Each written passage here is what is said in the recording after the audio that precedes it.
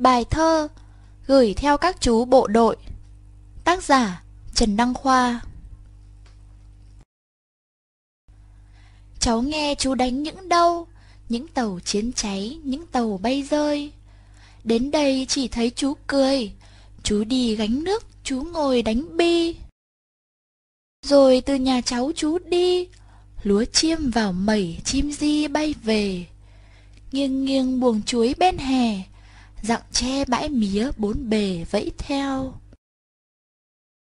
Chú qua bao suối bao đèo, Đến nay chắc đã thêm nhiều chiến công.